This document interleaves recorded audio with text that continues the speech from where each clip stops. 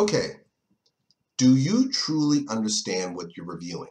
Understanding your medical records. The reason why I'm sharing this video is because a lot of times when people are going through the disability process, they're forced to be put in a position where they're trying to get an understanding of their medical records. Let's be real. Majority of us who are more majority of you that are going through disability or applying for disability have you've never gone to medical school. And I'm not going to sit here and say I have because I haven't, but I have seen uh, thousands of pages of medical records. And I always tell people be very careful when looking at your medical records. Understand what they say. Um, the typical format for medical records is, is the SOAP format, which is the subjective, which is what are the complaints, the objective findings, the assessment by the doctor, and what the plan is to correct that situation. S-O-A-P.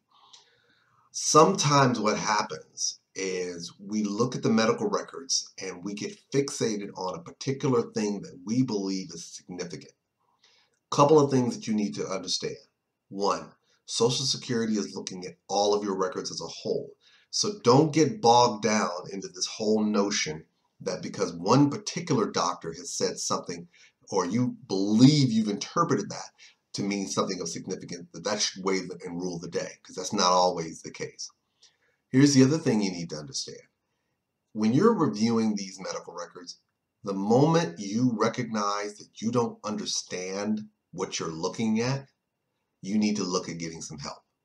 I know people on here, I've had people post and say, oh, he's an attorney, he's all about trying to get that dollar dollar bill, y'all. I'm like, yes, yes, mic drop. I'm not gonna lie. That's, I am in the business of making money just like any other professional. But I always tell people this when they come to me because I've, you know, I've done these videos for a long time. And part of the reason why I do these videos is to try to give you some useful information. Not advice, but information to help you along the way. And part of the information I want you to be aware of is this.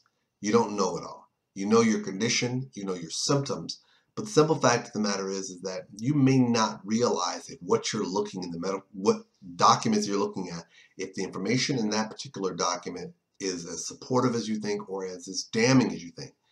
If you don't know or you're not 100% sure of one, what that document actually says when you're looking at it. When you're looking at a CT, CAT scan, nerve conduction study, um, you know, echo, MRI, x-ray, if you can't tell from looking at that document in of itself what that means, as it relates to your diagnosis in terms of severity level, you might want to ask for some help.